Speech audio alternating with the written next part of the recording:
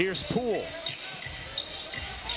Shot clock fading. Wiggins puts it on the deck and gets denied by Ayton. Big guy on Chris Paul. He's going to get everybody out the way and look to get that mid-range shot. Poole gets denied by Ayton. His second rejection of the quarter. Clearly the two hardest working, correct habit, well-coached teams in the league.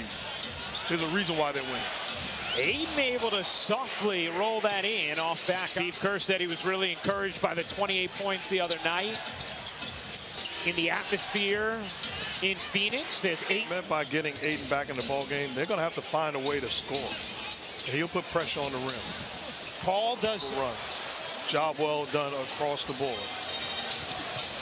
Ayton looking for the early seal, gets it, plus the foul. With it, got the basket. Ayton putting it on the deck, rummaging in and finishing with the left hand. Ayton deep catch, turn and hook it home.